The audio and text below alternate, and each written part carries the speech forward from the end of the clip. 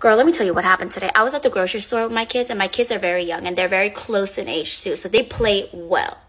And they were not screaming, crying, fighting, none of that today. But as a parent, I'm already hypersensitive when it comes to my kids being even remotely louder than usual or remotely hyper than usual, right? And today was one of those cases. I've already had it up to here. Okay. I turned to the corner with my kids, and there's this lady, girl, whatever. She looks at my kids like this, okay?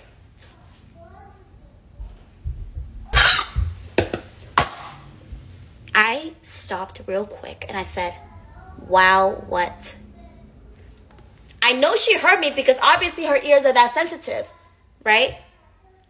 I stood there for about cool two minutes, like.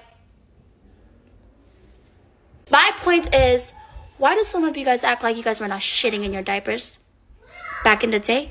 Why do you guys act like you guys were dropped to this earth with perfect manners from the beginning? Like you guys did not get your butt whooped for not acting right in public before.